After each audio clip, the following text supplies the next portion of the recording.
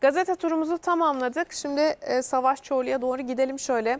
E, dün akşamı konuşalım istiyoruz. Savaş hoş geldin. Nasılsın? Hoş bulduk. İyi yayınlar, iyi haftalar sevgili Çiğdem. Teşekkür ederiz. Sana da kolaylıklar dileyelim. Tabii e, unutulmayacak da bir mücadele oldu. Konuşacağımız çok fazla ayrıntı var ama önce genel yorumlarla başlayalım. Galatasaray'ı nasıl buldun? İlk 11'leri, tercihleri vesaire mücadeleyi. Ee, ilk 11'ler açıkçası benim için sürpriz oldu. Herhalde benim için değil birçok insan için sürpriz olmuştu. Birçok Galatasaray için sürpriz olmuştur. Babel'in oyunda kalması, Fegül'ün oyunda olması, e, Muhammed'in Cagne gibi formda bir oyuncu varken başlaması açıkçası sürpriz oldu. Geri dörtlüğü saymaya gerek yok. Mecburiyetten zaten. Ama e, baktığımız zaman son haftaların formda iki tane ismi Cagne, Morutsan gibi isimlerin kulübede olması e, sürpriz oldu. Oyun içinde değişiklikler oldu. Günlerce konuşulacak, aylarca konuşulacak bir karşılaşma oldu. Ama Galatasaray e, sonda söyleyeceğim en başta söyleyeyim böyle şahane bir futbol oynamadı. Harika bir futbol oynamadı. Evet istekliydi. Son dakikaya kadar kazanma arzusu içinde olan bir Galatasaray vardı. Lig sonuncusu e, Çaykur Rizespor'dan 3 puan olması, son dakika, uzatma dakikaları 110. dakikada gelen gol. Bunların hepsi Galatasaray adına milli ara güzel. Ama e, oynanan futbol açıkçası böyle şahane bir futbol değildi. Biz Galatasaray Boldin penaltı atmış olsaydı çok farklı bir şey konuşuyorduk. 90 dakika e, Fıygül ile Babel'in sahada kalmasını e, konuşuyor olacaktık. Ama kazanılan maç tabii ki güzel fakat uzun yıllar konuşulacak, uzun zaman konuşulacak bir karşılaşma oldu. Hakem hataları iki taraf adına vardı. Ben hakemin e, uzun süre dinlendirileceğini düşünüyorum. Hakem gerçekten dün gece etki etti. Hem var hakemi hem saha hakemi bakıldığı zaman hem e, Palabıyık ve e, baktığı zaman Bitigen ikisi de dün son derece konuşulan isimler oldu. Dolayısıyla yani Galatasaray kazandı ama kazandı diye ben eleştiri yapmayacağım anlamına gelmez. Kazandı fakat eksikleri vardı.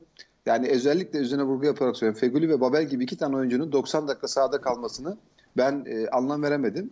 E, evet Galatasaray kazandı. Oyuna sonradan giren iki oyuncuyla kazandı. Ben dün skorboardda yayındaydım. İkinci yarının başlamasıyla beraber 45 dakika boyunca bu iki oyuncu oyunu çevirecek. Girmesi lazım, girmesi lazım. Dakika 90'a kadar bizim yayın sonra iki oyuncu da oyuna girdi.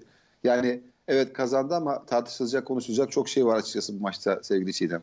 Peki e, Muhammed'i nasıl buldun? Bireysel performansla bir konuşalım. Sonrasında da tabii o e, herkesin tartıştığı, senin de bahsettiğin o kararlara da geleceğiz. Çaykur Rizespor maçıyla bu sezon ligdeki e, ilk gollerini attı Mustafa Muhammed. Beş- Karşılaşma sonunda da çok mutluydu. Sen nasıl buldun? 5 ay sonra e, Evet. iki tane gol atması güzel bir şey. Yani 145 gün yanlış hatırlamıyorsam 145 gün sonra iki gol atıyor. İyi bir oyun sergiledi, istekliydi, mücadeleciydi. Beklenen şey bunlar Muhammed'den. Ama Galatasaray'ın forvet hattında gerçekten de hem Halil hem Cagney hem de Muhammed 3 tane e, tecrübeli, 3 tane istekli, 3 tane o bölgeye e, forma isteyen oyuncu var. Bunlar yanına geriden koy Oğulcan da gelecektir. İşte Babel de var. Ama 3 tane net e, forvetinin bu şekilde iyi olması özellikle Muhammed'in de golle dönmesi Galatasaray adına, Galatasaray adına, Muhammed adına çok güzel bir şey. Milli ara öncesi e, çok da iyi moral buldu. Sabah erken saatlerinde milli takıma da giderken, Mısır'a giderken eşi ve çocuğu da vardı yanında. Oldukça moralli gitti. Yani Muhammed'i kazanmak çok önemli. Muhammed çok önemli bir golcü. Muhammed'den belki Galatasaray e, uzun vadede ya vararla faydalanmak ya da e, çok ciddi bir bonservisini alıp tekrar iyi paralara bonservis atacak. 60 oldu iki gol de güzel ama çok istekli oyunu, arzulu oyunu e, sevindirdi Galatasaraylar adına. Fakat tekrar söylüyorum Galatasaray'ın tartışılacak bölgeleri, tartışılacak oyunu var. Fatih Hoca'nın maçtan sonra Babel'i öven açıklamaları var, Mustafa Muhammed öven açıklamaları var. Ama e, açıkçası ben Babel'i çok fazla beğenmedim. Babel oyundan çıktıktan sonra 10 dakikalık bölümde Galatasaray çok daha fazla rakip kaleye gitmeye başladı. 10 dakikalık e, dilim içinde işte Babel'in yapamadığını Cagne yaptı. Yani Cagne'den beklenen bunlar. Cagne bu sezon çok formda. Cagne'nin mesela 11'de adını görmeyince ben çok şaşırmıştım. Eğer orada Halil değişikliği olacaksa Forvet'te Cagne'yi bekliyordum. Sonra Muhammed'le değiştirilmesinden sonra Cagne kısa sürede olağanüstü işler yaptı. Geçen seneki Premier Lig kendisine çok yaramış. Orada tecrübe kazanmış. Daha disiplinli. Geçtiğimiz sezonki o saha içi disiplinsizliklerinden uzak daha e, çok bir lider gibi. Mesela geçtiğimiz sezonun ikinci haftasında Giresun maçında Marka'yla e, Kerem'in yaşamış olduğu olayda adeta bir takım kaptanı gibi gelip oradaki olaya mücadele etmesi sorun çıkaran değil sorunları çözen bir Cagne var. Buna performansı da eklediğimiz zaman e, Cagne'nin önümüzdeki günlerde yeniden bir İngiltere Premier Ligi macerası başlarsa benim için sürpriz olmaz. Peki e, Cagney'in daha çok süre alması gerektiğini düşünüyor musun? Ee, çünkü Yüzde yüz. yazılarında mesela Levent Tüzemen bugün bunlardan bir tanesi. Terime bir uyarım var demiş. Cagney'e güven ve daha fazla forma şansı ver diyor. E, Fatih Hoca da Yüzde yüz. konuştu. Cagney aslan gibi oynadı gibi bir ifadesi e, var. Ne dersin? Katılıyor musun bu fikre? Sevgili Çiğdem, %100 katılıyorum. Ben e, tekrar ifade ediyorum. Dünkü skorboard yayınımızda ne bu takımda olmalıdır. Olmalı. İkinci yarı neden girmedi ve 90. dakikaya kadar nekten bekletildi. Eğer Galatasaray maçı kazanmamış olsaydı, berabere bitmiş olsaydı ya da Bodli'nin penaltı vuruşuyla maçı kaybetmiş olsaydı Jack ne neden sahaya girmedi ya da Feguli neden bu kadar 90 dakika kaldı? Babel neden 90 dakika kaldı diyecektik. Fatih Hoca maçtan sonra Babel'in performansından memnun dedi. Evet Babel oyundan çıktıktan sonra Galatasaray çok daha fazla ileriye çıkmaya başladı. Ben Babel'i izlerken zaman zaman topu geriye aldığı, geriye at, geri pas verdiği o kadar çok pozisyon sayarım ki Ömer'in performansını konuşacağız ama Jack ne bu takımda bana göre direkt oynayabilecek bir oyuncu. Şöyle 3 maça bakalım. Göztepe maçı, Keza geçtiğimiz hafta Fra- Marsilya maçı bu maçta hep oyuna sonradan girdiği maçlarda da etkili olan bir oyuncu oldu. Gerek skora gerekse golleriyle. Dün akşam da aynısını yaptı. Göztepe maçında da aynı. Marsilya maçında da aynı.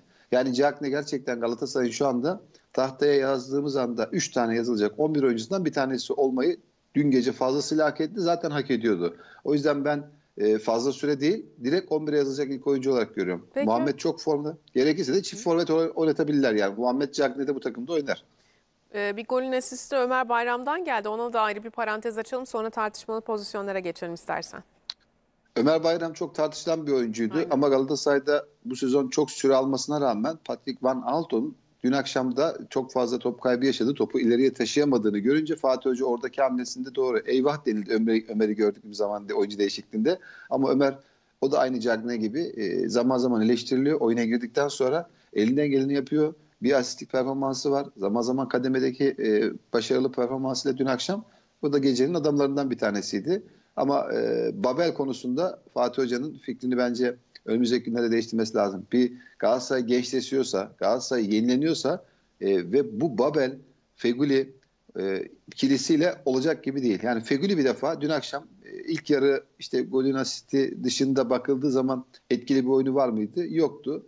Eğer gençleşen bir Galatasaray varsa Galatasaray taraftarısı, Galatasaray camiası Feguli ve Babel'i açıkçası e, görmek istemiyor.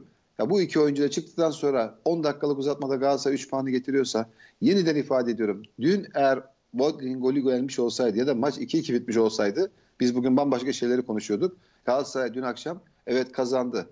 İstediği galibiyeti aldı. Çok da önemli bir galibiyet aldı. Uzun zamandır ortamı gelen bir Çaykur Rizespor olacağından dolayı bir mesele vardı. E, dün akşamki bu karşılaşma 3 puandan çok daha fazlasını Galatasaray kazanmıştır. Ama e, değişiklikler bundan sonraki süreçte devam edecek. Kerem'le, e, Babel'le, Fegüli Galatasaray'da mutlaka sözleşmeleri olacaktır ama 11'i çok hak eden oyuncular değil açıkçası yani. Peki tartışmalı pozisyonlara geçelim. Önce Morata'nın golünden önce tabii e, Cagney'in faal yapıp yapmadığı çok fazla tartışıldı. E, Cagney'in gol öncesinde. Bu konuyla alakalı da taraftarlar ikiye bölündüler. Senin görüşün ne oldu? Buradan başlayalım istiyorum. Ben müsaade edersen bundan önceki pozisyonla ben Tamam. başlamak istiyorum. Galatasaray'ın Berkan'ın e, düşürüldüğü iki pozisyonda. Evet Cagney'in üç tane pozisyon geçerek adama çarpıyor, itiyor. Faal var mı yok mu? Bunda bana göre faal var. Ama Galatasaray iyi oynarken Berkan'ın iki kez düşürüldüğü pozisyonda bir değil iki kez iki defa faal var.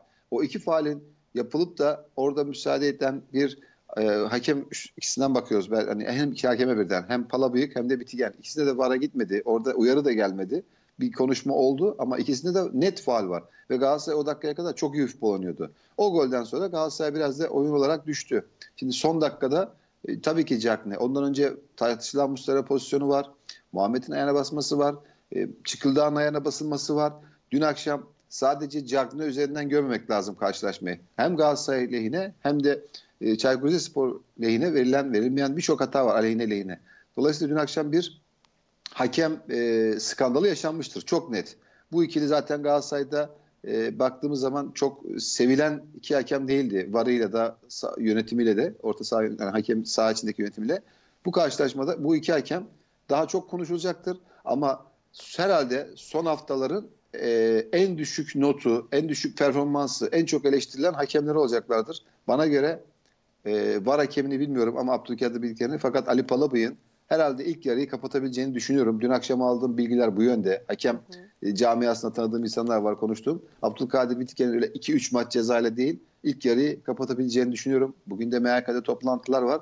Yani e, sonuç değişmez ama hakemin e, üzerindeki konuşmalar, maçın atmosferi çok konuşacaktır. Ama her şeye rağmen kazanılan bir maç var. Galatasaray adına çok önemli. Çünkü bu karşılaşmayı kaybetmiş olsaydı Galatasaray ya da berabere kalmış olsaydı ciddi anlamda yarıştan uzaklaşacaktı.